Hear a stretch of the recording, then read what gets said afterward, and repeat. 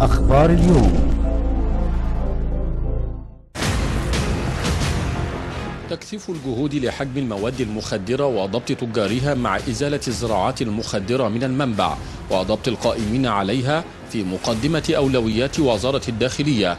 لذلك وبعد ورود معلومات بقيام بعض الأعراب بزراعة مساحات من الأراضي الزراعية بوادي حليفي برأس سدر قامت الإدارة العامة لمكافحة المخدرات بالتنسيق مع مديرية أمن جنوب سيناء والقوات المسلحة بشن حملة مكبرة استهدفت هذه الزراعات وتمكنت من ضبط إحدى عشرة مزرعة لنبات القنب المخدر بمساحة أكثر من ستة أفدنة وتم اقتلاع الزراعات وحرقها كما تم ضبط أحد المتهمين وبحوزته 250 كيلوغرام من مخدر البانجو بقصد الاتجار.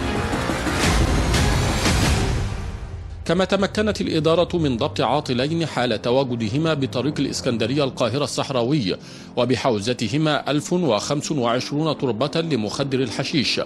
وأقر بحيازتهما هذه الكمية من المخدرات بقصد الاتجار كما عثر معهما على مبلغ مالي من حصيلة البيع. مباحث شرطة موانئ دمياط أحبطت محاولة لإحدى شركات الاستيراد والتصدير لتهريب 135 قطعة أثرية خارج البلاد.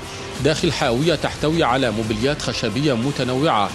القطع الأثرية ترجع إلى النصف الثاني من القرن التاسع عشر الميلادي وتخص الأسرة العلوية.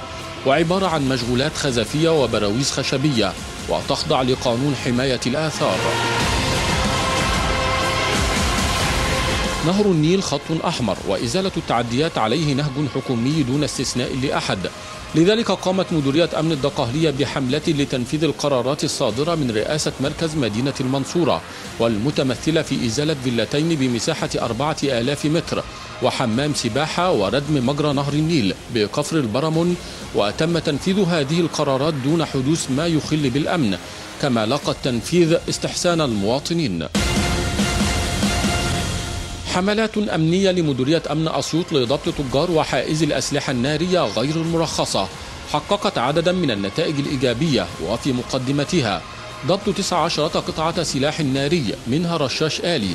كما تم ضبط ثلاث قضايا مخدرات. قامت مديرية أمن مطروح بحملة مرورية مكبرة لضبط المخالفات المرورية المتنوعة. وإلزام السائقين بتعليمات المرور وأسفرت عن ضبط 390 مخالفة مرورية متنوعة.